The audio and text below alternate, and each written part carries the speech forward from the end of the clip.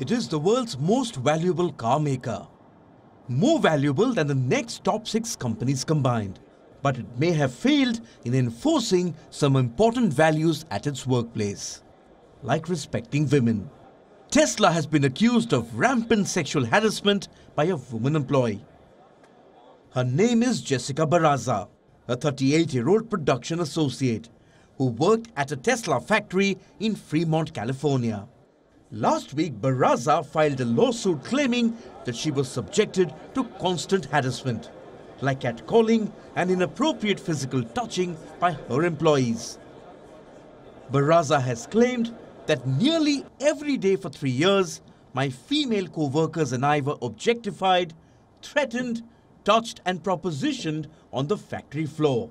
I felt degraded, humiliated and traumatized.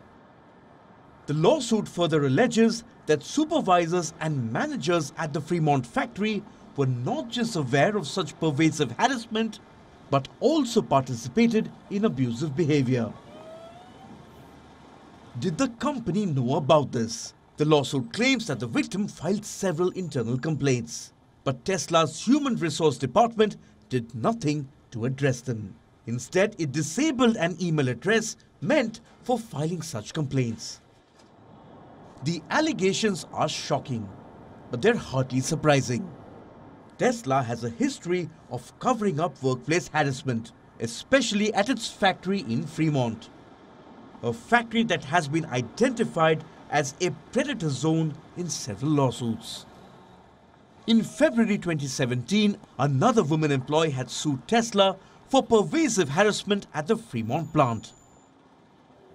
How did the company respond? By firing her for what it said were false accusations. Then in October 2017, a black employee at the Fremont plant had accused his supervisors of racial harassment. For once, the charges were upheld. Tesla was ordered to pay $137 million in damages. Now, another employee at the same factory has raised allegations of inappropriate behavior. Something that she says flows from the top. Right from the CEO, Elon Musk. Yes, the victim has claimed that Musk does not set a good example for his employees through his sexually suggestive tweets. She has cited a recent one to make her point.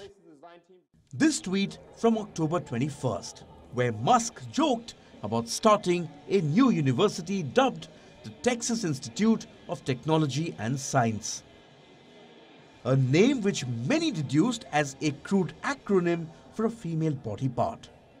The victim claims that such irresponsible tweets from the boss are fueling a culture of misogyny and objectification of women employees at the workplace. Tesla abolished its public relations department last year and is yet to respond to the allegations. Bureau Report, WION, World is One.